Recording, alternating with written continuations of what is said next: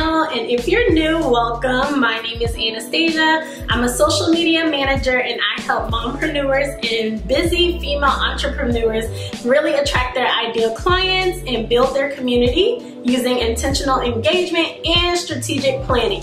So now that I introduced myself, I want to say welcome to the community and if you have something to share, drop it in the comment section below. And in this video, I'm actually going to be talking about the five tools that I use as a social media manager in my day-to-day -day operations. So let's get into it. The first system that I use is my CRM. So I use Honeybook. So any proposals, contracts, invoices, any emails actually to my clients that I need to send back and forth. I use Honeybook to manage all of that. I have my proposals in there, templates, anything you may need to send out to your client, you need the CRM, CRM for. So I personally use Honeybook. No, this is not sponsored. You can use Dubsado. I heard Dubsado was a really good CRM as well, but I just chose to use Honeybook and I absolutely love it. So if you're looking for a CRM to use, I do have a link to a percentage off for Honeybook. So if you need that, that'll be in the description box below. The second tool I'll use is my project management system and I swear by Trello. So if you guys haven't already seen the video of how I schedule my posts using my Trello board, then go ahead and click the link in the description box. I'll link it below.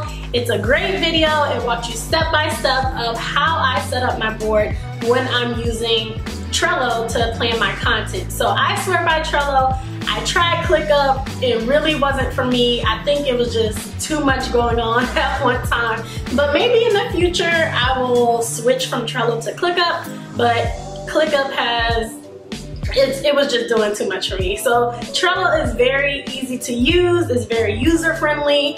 I can add my clients onto the boards, they can comment, they can tag me in anything that they leave on the comment, on the Trello cards.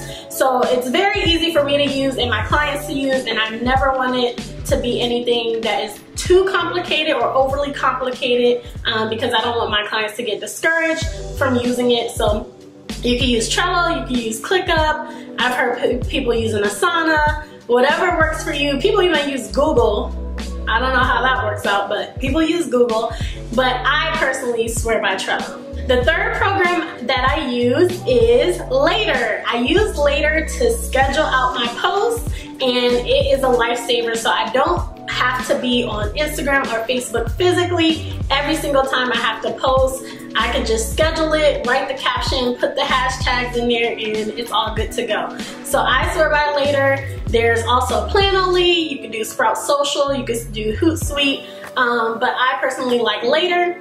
So when using later, you can schedule posts to Instagram, Facebook, Pinterest, LinkedIn, and Twitter. So you can do all of that on later. You can also add different profiles. Um, I have been looking into Planoly since a lot of people have been saying Planoly is really great.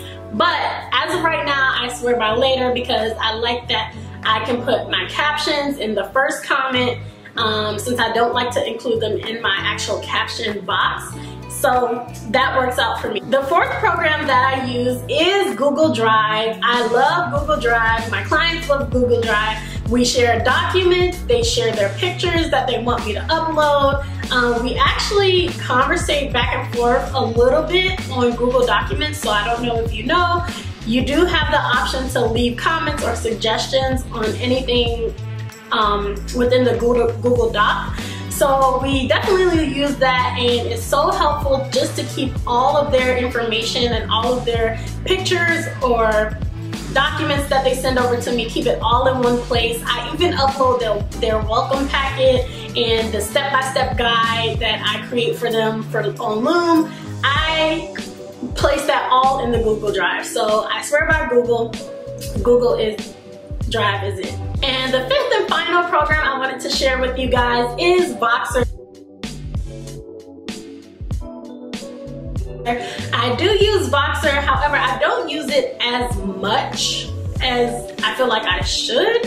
Um, but Voxer is easy to com communicate when you don't want to share out your personal phone number or your if you don't have a business number. If you don't want to share your personal number, you can tell your clients to download Voxer and they can text you through there. They can even send you kind of, it's kind of like a walkie-talkie type of app. So if you guys remember the um, Motorola, if you guys remember the Motorola and it had that walkie-talkie type feature, that's kind of how Voxer works. So those are the five programs that I wanted to share with you guys. Hopefully it's helpful. If you guys have any questions on any of these programs that I use personally, go ahead and leave the question in the comment section below and I'll get right to your comment. And go ahead and while you're down there, I will link my Instagram in the description box. So go ahead and head to my Instagram account. That's where I post all my content and all helpful tips on my social media account. So go ahead and follow that. If you enjoyed this video, go ahead and give it a thumbs up, hit the subscribe button, and go ahead and hit the bell so that you know each and every time I upload. I'll see you guys later in my next video. Bye.